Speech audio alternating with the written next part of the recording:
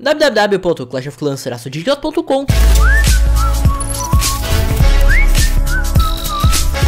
Fala galera, vocês mais um vídeo de Clash of Clans e dessa vez eu só trago pra vocês um vídeo pra falar do primeiro clã brasileiro a atingir o level 12 Bom, vocês já devem estar sabendo, vocês viram aí os Tops Clash novamente. Que tipo, foram primeiro level 7, primeiro level 8, primeiro level 9, primeiro level 10, primeiro level 11 e agora primeiro level 2 Então gente, eles precisam de muito XP pra ir pro level 13 e assim vai acumulando até chegar num level que provavelmente deve ser o 15 Porque eu ainda não consegui essa informação qual é o level máximo máximo de um clã atualmente. Mas vamos lá, eu vou mostrar aqui algumas estratégias que eles estão usando, porque vale a pena, né? Porque para os caras terem chegado a esse ponto, eles têm que ganhar muitas guerras e ter pedido poucas, e também ter ido uma guerra atrás da outra, porque claro que, tipo, para você conseguir o maior número de XP possível, você precisa de quantidade. Não necessariamente de qualidade, mas qualidade eles têm também.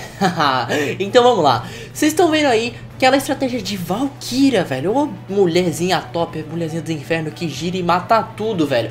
De, de boa, de boa. Elas estão muito OP e você que tá usando Valkyria provavelmente tá tendo uns resultados muito bons, mesmo se você estiver fazendo tudo errado no seu ataque, porque é isso que essa é a impressão que eu tenho. Mas vamos lá.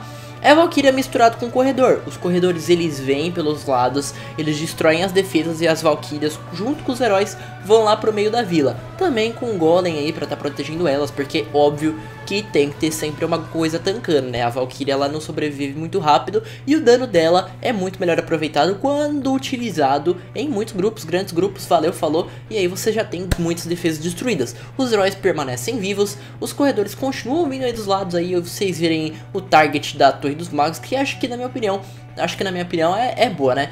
Na minha opinião, é um dos piores inimigos aí dos corredores, porque de verdade atrapalha muito, porque na boa o, a Torre do Mago, o que, que ela faz? Ela tem muito dano em área. E os corredores, eles não têm tanta vida assim, apesar de você conseguir fazer com que eles fiquem vivos até o fim do ataque.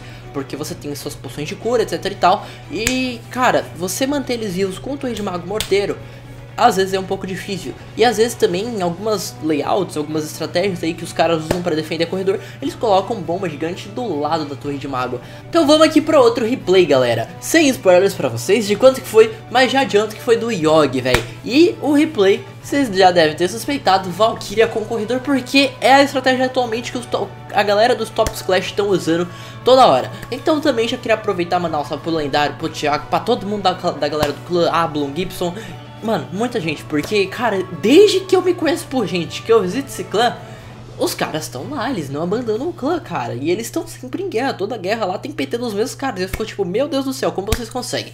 E vamos lá. Agora os heróis dele é um pouco mais de level baixo, level 12, level 14. Eu acho muito bacana a gente estar tá reparando nisso, porque você consegue ter um resultado até melhor, até bom, melhor não, né? Porque é muito mais fácil você conseguir resultados melhores com heróis de level alto, mas você consegue resultados perfeitos com heróis baixos independente aí do dependendo aí do level dessas tropas. E isso é muito interessante porque vai muito da sua habilidade também. Então olha só, aquela estratégia lá manda os heróis direto pro meio com feitiços de pulo junto com as alquirias dos magos e os golems. Muita tropa, né? Pois é, sei que eu falei um pouco rápido.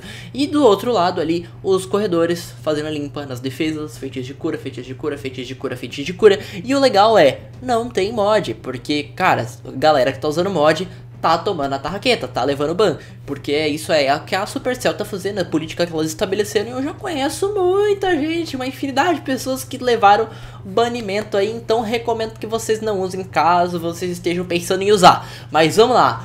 Replay chegando ao fim, cara, corredores destruíram tudo, velho. Esses porquinhos, esses bacon tá impossível.